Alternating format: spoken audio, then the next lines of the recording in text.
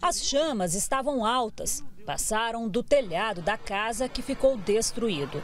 Três pessoas estavam lá dentro e conseguiram sair antes que o fogo se alastrasse ainda mais. Eu estava na cozinha, quando eu vi, quando a minha falou, está sentindo, não tem pegando fogo, está sempre queimando.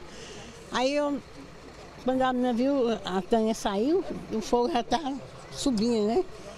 Aí eu abri a porta do meu quarto, o fogo já estava em cima da minha cama, já estava queimando. Eu peguei a água e joguei, mas o quarto estava pertinho de fumaça, não deu para enxergar nada. Aí eu saí correndo, falei, corre todo mundo. Graças a Deus, Deus salvou nossas vidas, né?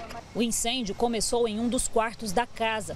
O calor lá dentro foi tão forte que todo o reboco da parede caiu. Aí pegou fogo assim, né? Sabe, do nada, não sei como, menina, não vi. Eu só, só vi um estouro no quarto dela, né? Porque aí quem mora é eu, é ela e uma sobrinha, né? Tá até viajando. Aí, aí eu vi só um estouro no quarto dela. Falei, ué, mas esse trem tá esquisito.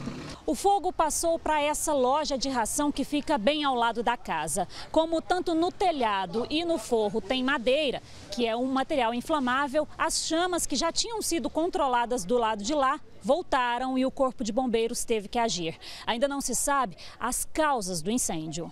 Para apagar o incêndio, os bombeiros levaram cerca de meia hora e usaram 3.600 litros de água. Provavelmente deve ter sido iniciado num quarto, né, que foi o mais danificado.